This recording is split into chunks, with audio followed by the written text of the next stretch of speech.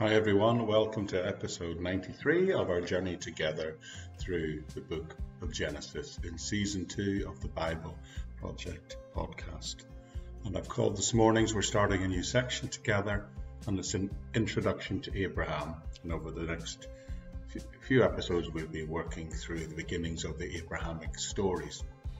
And the text we're going to cover today, by way of introduction, is Genesis chapter 11, verses 27 to 32, which say this This is the account of Terah's family line. And Terah became the father of Abraham, Nahor, and Haran. And Haran became the father of Lot. While his father Terah was still alive, Haran died in Ur of the Chaldees in the north of his birth, in the land of his birth. Abraham and Nahor both married. The name of Abraham's wife was Sarai, and the name of Nahor's wife was Milcah. She was the daughter of Haran, the father of both Milcah and Iscah. Now Sarah was childless because she was not able to conceive. Terah took his son Abram and his grandson Lot, the son of Haran, and his daughter-in-law Sarai, the wife of his son Abraham, and together they set out from Ur of the Chaldees to go to Canaan. When they came to Canaan, they settled there. Terah lived 205 years, and he died in Haran. So, as we progress together through this next great section of the Bible, we shall see, in a sense, God stepping back, so to speak the individual personalities of the human characters that are, are, that are involved now are going to become more and more developed for us. What I recognize in that is God promoting the importance of individual responsibility. And he develops that through the sacrificial system, because through that we will see God step away slightly as he allows people to step forward and make atonement for their mistakes. Now, Abraham, who's going to be introduced in some detail over the next few days, is a very well developed character. History, as many understand it, seems to start to here with the story of Abraham. And the stories of uh, that we are going to read, they sound, even to the modern ear, like historical stories. The narrative now will include a variety of stories in which Abraham is seen to act on his own initiative, and that's slightly uh, different to how God related in the earlier stories of Noah and other people prior to the flood. Abraham is seen to take responsibility and but also face the consequences of when he gets things wrong. One of the things that really struck me about reading these stories and preparing this series this time is just how much it's like a warts and all story about a real person. Abraham is not really a divine, a divine figure in any sense. I mean, he has archetypical elements, of course, because he's the founder of a nation. But fundamentally, we can recognize that he's a human being, just like you and I. He has adventures. He makes the mistakes that any of us could make and it's the mistakes that become the really important part of the story. Despite of the fact that he engages in some almost one might say deceptive practices, he's seen overall and recognized as a good man. He's not a perfect man by any sense of the imagination, but things will still work out for him okay in the end. As we know, he will become the founder of a nation, a great nation, a nation that will become God's people in the sense that God will use them to carry forward his salvation history. The good news, this is good news for everyone, and you know why? It's because perfect people are pretty hard to find in real life. You see, if the only pathway to having a rich and meaningful life was through some sort of perfection, then of course we'd all be in deep trouble. And it's very satisfying to read that, isn't it? That an ordinary person can be used by God. The other thing that I've been struck by is the fact that Abraham, and I believe this is one of the keys to the interpreting these stories, is he is seen to go out and do things. He does stuff, and the repercussions of it aren't always positive. Now, I think it's helpful to, to say it's useful to surround yourself with people who are helping you to try and move forward in life. And more importantly, with people who are happy when you move forward in life. They celebrate it with you. And people who are not happy when you move backwards. When you do destructive things, your friends shouldn't be there to cheer you on because they're not acting like friends if they do that. This is really important. It should be obvious to everyone, but it's clear to me that that's not the case for a great many people these days.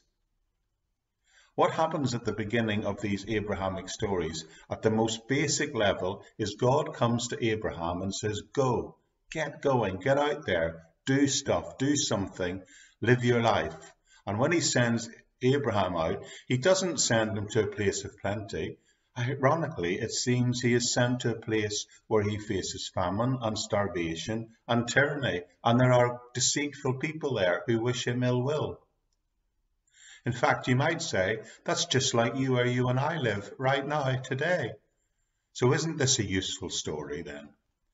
Abraham's, Abraham, or Abram as he's called at this point, ends up having to sojourn in Egypt and live in a world of tyranny and of deceit and of vulnerability. And yet God still says, go, go out, because if you do go, things will happen, great things will happen, and you will become the father of the nations.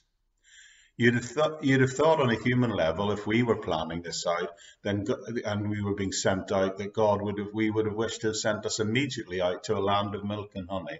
But that isn't how it's going to happen for Abraham at all. Yet, even through these challenging stories, his mission is still regarded as divine, and that is because he will grow in God as he encounters life's complicated difficulties. And these are archetypical representations of the things that everyone will and should encounter. What is basically being said here, I believe, is something not that different to what is said in the Sermon on the Mount, which is that if you align yourself with God's will and you pay attention to the divine order of things as God has presented them to you, then you can operate and live in the midst of chaos, in the midst of tyranny, among great deceptions, and yet you can still flourish, flourish spiritually, and flourish in your relationship with God.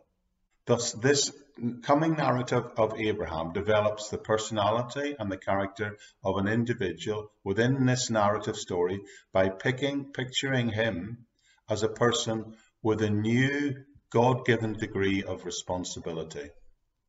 Now, I read an article in the Spectator magazine a couple of years back, and it talked about the fact that people today are fed this unending diet, uh, this unending diet of their rights and their freedoms.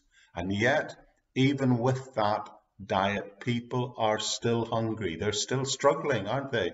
People are starving for an antidote for the meaningless of life. Well, the antidote that's revealed here in these coming Abrahamic stories is one about choosing to live in the real world, but flourishing by, by living in love and truth, and importantly, by accepting responsibility. That, I believe, is the secret to living a truly meaningful life. Without that sort of life, without a meaningful life, all around you becomes suffering nihilism, self-contempt, despair, despair, and all that that brings. And clearly that's not good. And that's what we see in the world around us. And that's what we see in the hearts of people around us, isn't it? It's soul deadening. It's an anti-human way to live, right to the very core of our beings. Instead, this tells me that if you are able to go out there and try and reveal the best of yourself to the world, then you can be an overwhelming force for good. Presenting the world with the best of you in service to the best of that which there is in the world.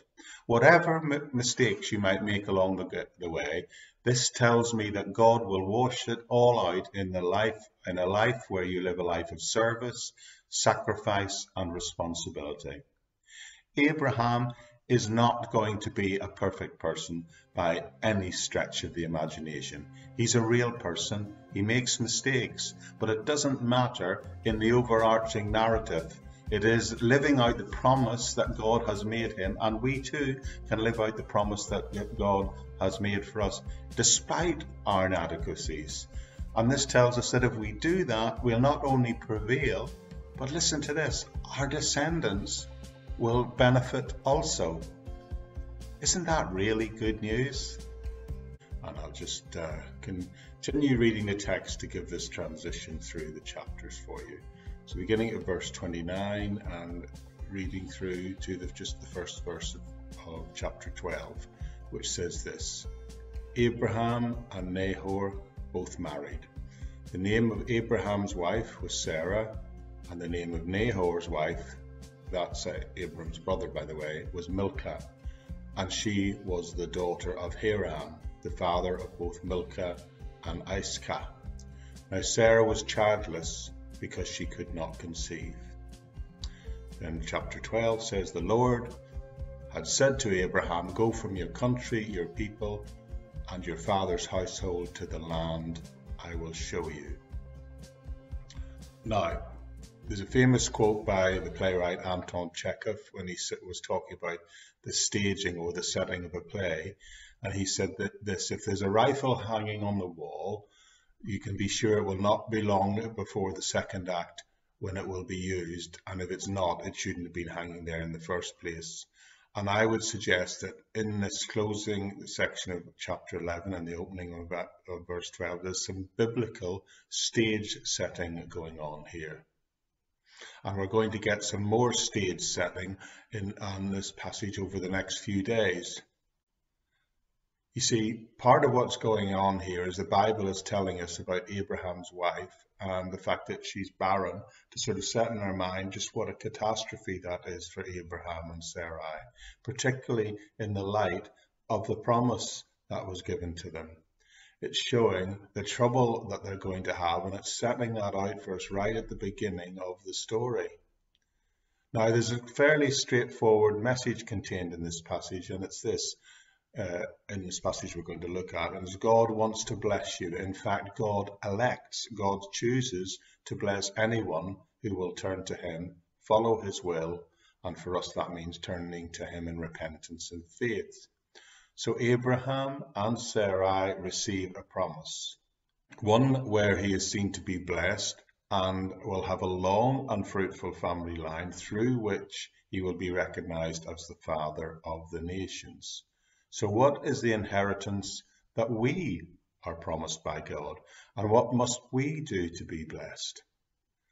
When you start reading the Bible, you don't have to go very far before you discover that God is seen to choose, to elect, to bless particular people. We saw it with the story of Noah and the flood and how God blessed him. And in that case, it was dramatically removing him from the judgment that was coming. Now, I believe if we understand these early biblical stories, then we can see again and again that God is choosing to bless those people who follow him. Often, before we are introduced to the people, the opening line of any particular passages is so and so walked with the Lord. So God wants to bless those who are on that journey of faith and obedience with Him. So what we're going to do now is take the next section of this book in Genesis over the next few days and see how God called and blessed this man called Abraham who was obedient to him. And for that we need to cover the text which covers the end of chapter 11 which I've just read and we're going to be looking at the first eight verses of chapter 12 probably over about four podcasts.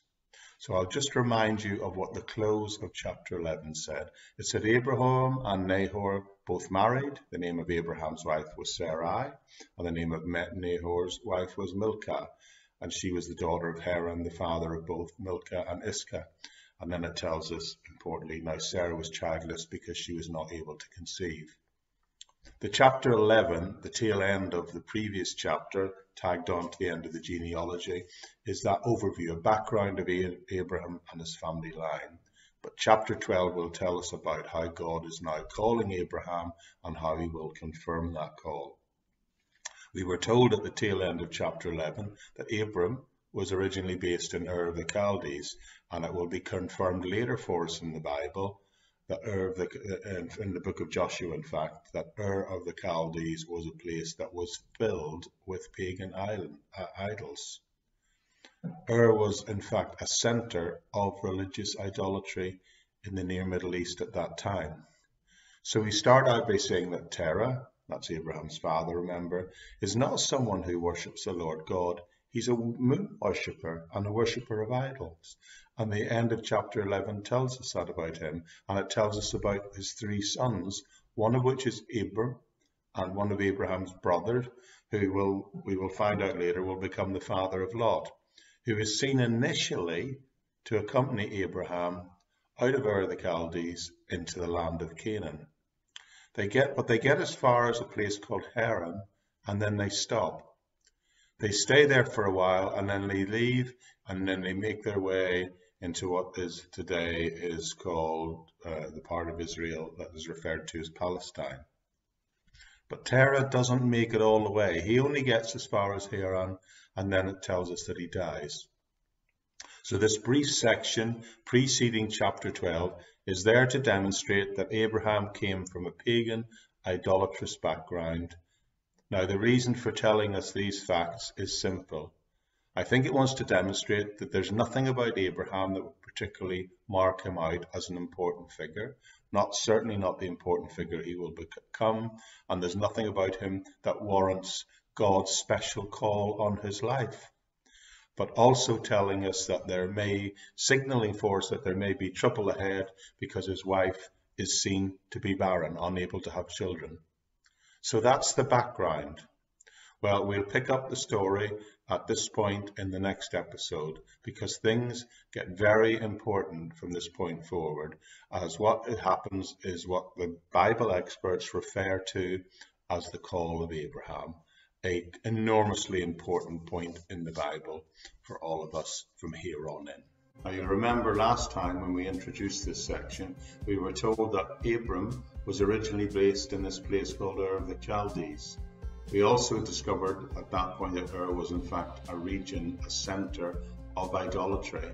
The brief section that preceded chapter 12, those verses we uh, read at the end of chapter 11, were given in order to demonstrate that Abraham came out of a pagan, idolatrous background. But today we're going to pick up the story at chapter 12 and his specific call. And this, my friends, is very important. This is one of the key points in the Bible. Chapter 12, verse 1 tells us, The Lord said to Abraham, Go from your country, your people, and your father's household to the land I will show you. When Abraham was first called, remember he was living in Ur, which had been described earlier in Genesis as a beautiful, luscious land. Now, in ancient time, Ur was a seaport which sat at the head of an estuary, which was enriched greatly by trade that was moving through it. There were also two great rivers by uh, feeding through out from Ur, and that was the Tigris and the Euphrates. They were nearby. They bordered the whole area of the estuary, and they watered the ground, which produced rich soil, which was great for producing really abundant crops. Historical records show that corn, apples, grapes, pomegranates all grew grew and grow naturally in the wild in that area. So this is a really fertile area comparing to the neighbor, neighboring Arabian desert, which lies inland and to the east. So the question you might be asking is, why have I brought up the nature of the city? Because I'm needing to point out to you that this is the place that God tells Abraham to leave. Ur was a great place to live, but God still says to Abraham, You've got to get out of town, my friend. And he also says, I'm not going to tell you where you're going, but just obey me and do that. And he leaves. He leaves that great city and he sets off without even knowing where he's going to. No wonder we might say he's called the father of the faithful. Doesn't this demonstrate that? In the Abrahamic stories, one of the things that maintains Abraham's promise with God is his continuing, his continual willingness to sacrifice. And this sacrificial issue is important. It tells me today that you and I are not really committed to something unless we're willing to make a sacrifice to do it or for it. commitment and sacrifice are completely interlinked. Some might say they're almost the same thing. So God here calls Abram to leave Ur, and in doing so, God then comes and makes several promises in the verses that follow. Verses 2 and 3 say this I will make you a great nation, and I will bless you. I will make your name great, and you will be a blessing. I will bless those who bless you, and whoever curses you, I will curse. And all the people on earth will be blessed through you. Now, we're going to look at these promises in the next episode, but basically, he commands them to leave and go to a land he's never even seen. But if you do that, God says, if you go to that land, you're going to be blessed, regardless of how the situation may look to you at the moment.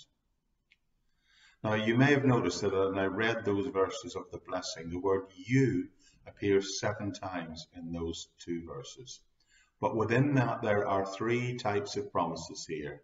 There is the individual promise to Abraham, and then there are the promises concerning his descendants, who will become a nation. And then there are also some universal promises given to, to Abram through which all of us, there is the potential to bless everyone, all the people on earth. Let's look at the promises for a second, but just the individual promise this episode. And the first is that God promised to bless Abraham and to make his name widely known. And he promises to bless others through him. And he promises to bless those who bless him and curse those who curse him. By doing so, he will make Abraham's name great. Well, clearly, when it comes to that initial promise of making Abraham's name great, that is that the fact remains that Abraham is still one of the most well-known names in the world. He is still to this day highly regarded by Jews, Christians, and by Muslims. He is honored in all three of the world's religions, and all of them trace their lineage back to Abraham in one way or another.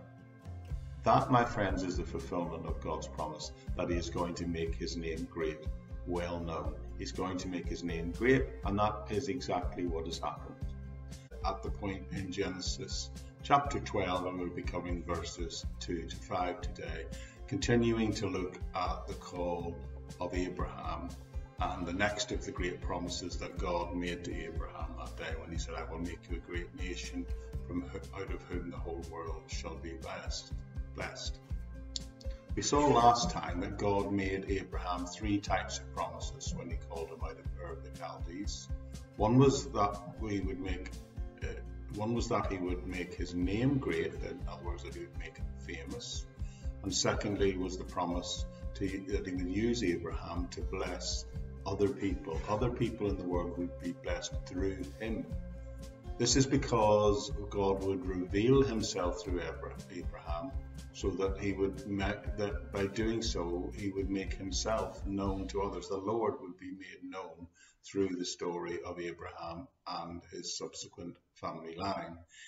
So, but at this time he will he will become God's servants and in a sense will become almost God's spokesman to his uh, immediate family at that time. Abraham is going to be so closely identified with God's plan for humanity from this point forward, to such an extent that God even says that anyone who curses him, it's an equivalent to cursing God himself. But that was the individual promise, and a national promise is now following on. The national promise is that he's going to make Abraham a great nation, that he is going to bear children, because clearly, if he's going to become a great nation, that means that that's going to happen, doesn't it? However, great doesn't necessarily have to mean large. A culture of a nation can be great in ways that are more important than just the number of people it spawns. Great means much more than big. Israel's greatness was not her was not a contribution of great philosophers like the Greece government or even great methods of government like Rome produced. The nation of Israel's greatness would be spiritual. Let me just remind you that out of Israel will come the Ten Commandments, the finest moral code issued in the history of all mankind. Out of Israel will come the entire Word of God, the Bible. So there's a personal promise and there's a national promise, but there's also a universal promise in that all the people of earth are going to be blessed through this line. Now, this again is not for the first time the Bible is making a clear cut reference to a coming Messiah, Messiah way back here in the beginnings of Genesis. So, although Abraham is going to come as a savior of the world, God has called Abraham and he's given him a promise. That's what we're seeing going on here. But let's see how Abraham will uh, respond. And let's pick up the story at verse 4 and 5. And it says, So Abraham went as the Lord had told him, and Lot went with him. And Abraham was 75 years old when he set out from Haran. He took his wife Sarah, his nephew Lot, all their possessions they had accumulated, and the people they had acquired in Haran. And they set out for the land of Canaan, and they arrived there. So by his actions, Abraham demonstrates he believed God. And this is important because God gives the promise, but he is seen to believe it. And because he believes it, he obeys and he leaves Haran and sets out for Canaan. He did not leave Haran like a migrant, that was someone who was fleeing war or famine, who, or who was being forced out. He left because he believed God. He believed God's promise, and he then travelled approximately 400 miles it is down to, to Haran. God told him to leave his country and his family and his father's house, but please note that when he departed, he also took something else with him, and that was Lot. Apparently, when Abraham left Ur, he took his father with him too, who subsequently died, we know. But now he leaves Haran and he's taking Lot with him. So that perhaps suggests his obedience at this point was still slightly partial. We will see that his faith and obedience will mature as we move through his story. But at this point, just summing up so far, God said to Abraham, Leave your country. And Abraham said, Yes. God said, Leave your house. And Abraham said, Yes. And God said, Leave your family. But Abraham, in a sense, said no to that, didn't he? Because he took Lot with him. He believed him and obeyed him, but at this point only partially. But we need to understand that partial obedience is still disobedience. Remind you where we're up to so far. If you remember last time, God said to Abraham to leave his country, and he said yes. And God said him, asked him to leave his father's house, and Abraham said yes. And then God said, leave your family behind. And Abraham, well, it appears he said no. He believed him and he obeyed him, but only partially up to this point. But some, of course, would say that partial obedience is still disobedience. Well, we're going to discover the consequences of that in the next couple of verses today. And we're just going to pick that up by reading for you Genesis chapter 12, verse 6, which says this Abraham traveled through the land as far as the site of the great tree of Moreh at Shechem. At that time, the Canaanites were in the land. So the thing to note here is he gets to the land and he discovers that it's not an empty place. It's populated. There are already people living there. Now, I wonder if that gave him pause for thought. Wonder if he felt at that point, you know what, I'd really like some confirmation that I've done the right thing here. Perhaps he also felt that he needed some assurance that he was actually where he was supposed to be. Well, let's read the next verse and see what it says. 12.7 says, The Lord appeared to Abraham and said, To your offspring I will give this land. So he built an altar to the Lord who had, because the Lord had appeared to him there. Well, doesn't that look like he got exactly what he needed? So there are Canaanites in the land, but this verse 7 tells us that the Lord appears to him and says, Don't worry, this is the land I'm going to give to you. So God has confirmed his call. The Lord clarifies that this is the land and that it is not only the land that he's giving to him, but he's giving to his descendants as well. But of course, we need to remember that Abraham and Sarah haven't had a son yet. However, the Lord is still clarifying and confirming the promise that he had previously given to them.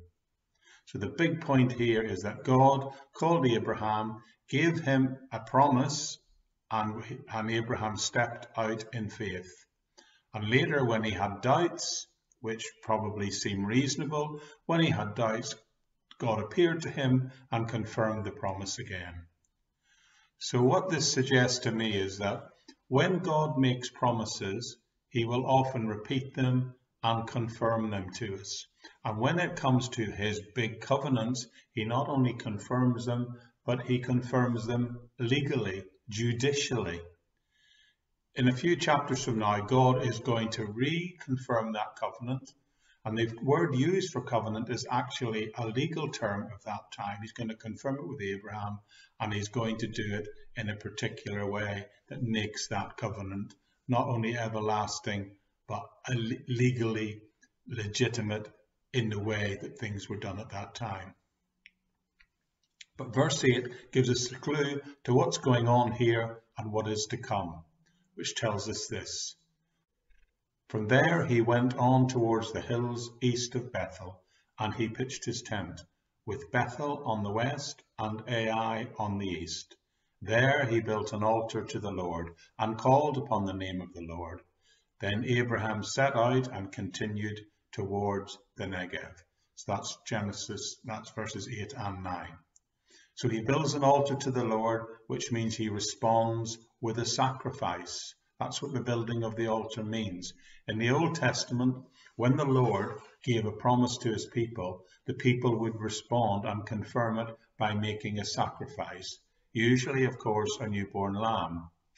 But in the New Testament, though it says we too still have to make a sacrifice, the sacrifice we offer is something other than a lamb, because a perfect lamb in Jesus Christ has come and made the ultimate sacrifice on our behalf already.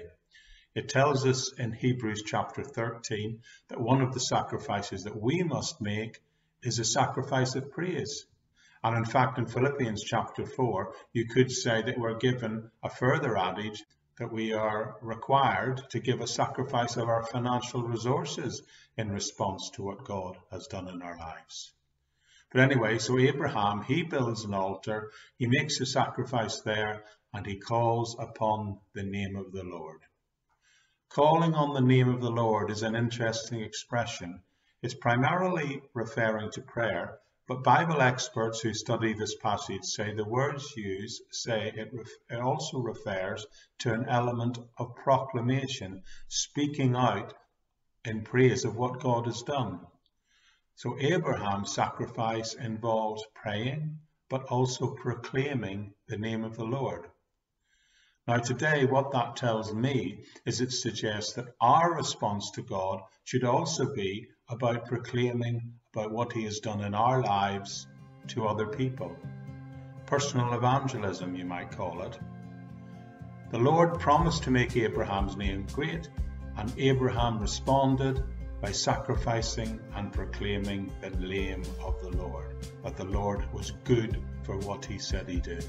The Lord promised to make Abraham well known, and Abraham promised the Lord that by making his well himself well known, that and his sealing it with a covenant, he would seal it also with a sacrifice of praise. So that's the call of Abraham. And uh, what I'd like to do finally is to summarize what I believe this whole passage teaches us. So anyway, the call of Abraham, and how do we sum it up?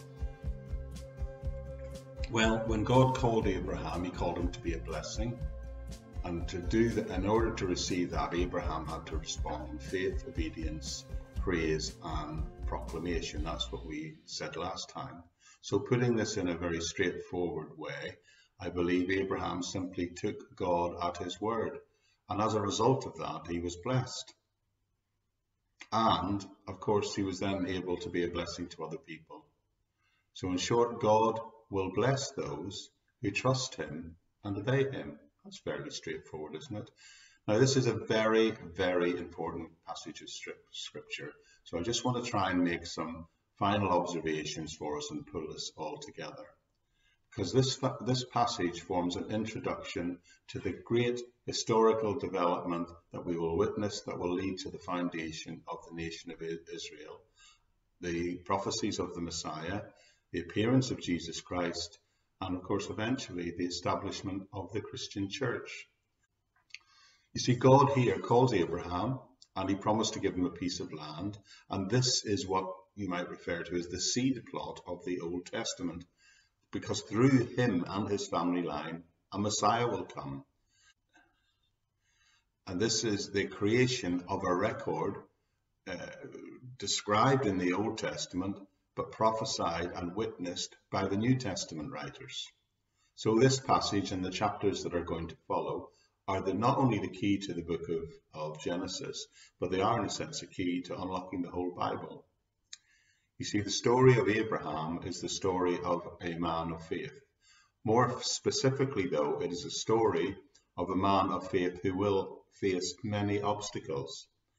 As we progress through this book, we shall see each obstacle will test his faith, but it will also provide an opportunity for him to grow stronger in his faith. Each of the barriers he must overcome, but he will have to overcome them with God's help. And each of these problems will constitute a challenge to Abraham's faith in some way or another. Each problem Abraham encounters is typical of problems that every believer will encounter in their life, particularly, particularly if you're seeking to live a life of faith. Consequently, that tells me that each episode of Abraham's life can teach us something, can teach us something about God's power, God's faithfulness, and it can help all of us and encourage us all to live by faith and obedience. Let me just list for you some of the obstacles that Abraham will face over the coming chapters. His wife will be seen to be incapable of producing an heir, though God promises him one. Abraham at one point will have to leave the land that God said that he and his family would inherit. Abraham and his whole family will face mortal danger whilst in Egypt and Abraham will father an illegitimate child through a concubine, which both threatens his wife's reputation and the legitimacy of this family line. And all these events that occur appear to fly in the face of the promise as the covenant that God has made with him. We will then see that Abraham will have to learn to trust God in spite of all these mistakes, some of them of his own making and some of them external obstacles. In the very next episode, which we're going to look at next time, we'll see Abram go into Egypt. But what's he do when he gets there? He will lie about his wife, and that means that she will almost end up in Pharaoh's bed. So this is not him exactly fully trusting the Lord yet, is it? This is just the introduction when he start this is the point at which I said he's starting out trusting the Lord but with some partiality but we will see him grow in faith and obedience until his faith is truly mature. Now we believers all have a similar journey, a similar calling to walk by faith and obedience in order to become part of God's program in our lives and in our families and and no doubt uh, uh, his plans in us to bless others and maybe even the whole world. This is the pattern that's been set here. Abraham's example of faith and obedience is therefore a model for all believers, all of us, to forsake everything and to try and serve God and thereby become a blessing, a real blessing to others. When it comes to being blessed by God, I believe this passage can teach us three really important things. And I'd like to end this passage uh, that we've been looking at by summarizing those for you. Number one, it tells us to believe God. Abraham did nothing particularly special in order to receive the individual promise and blessing. He was not blessed because of his background. He came from an adulterous family. So it doesn't matter what your background is. He also had been a sinner and was a sinner on multiple occasions, but yet still Abraham believed. So it always starts for everyone, for all of us, for you and I, with just simply believing and embracing God's promise. Believe that Jesus Christ, God's Son, came and died for you to reserve, resolve and make peace with God for all those things in your life and your background that have gone wrong. Salvation for us too today is nothing more than believing God's promise to you of eternal life through Jesus Christ. Number two, try to obey.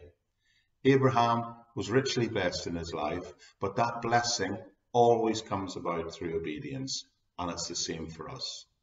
Believe and obey. Well, one more thing, and this is super important. We are to bless others. That's what this passage teaches us. Abraham praised God and he blessed the Lord by proclaiming his name to others. So blessing can, of course, and primarily should be doing something practical and loving to help other people, but it's sometimes nothing more than including a testimony of the blessings in your life and crediting God for them. If God blesses you, then you need to make sure that you bless others. Are you the sort of person who, when you arrive in a room, makes everybody happy? Are you the kind of person that everybody's pleased to see and feels lifted when you walk into a room? That's quite a challenge, isn't it? Well, I believe this passage tells us, and I'm talking to me as well, is that we are all to try and become that person in Christ Jesus.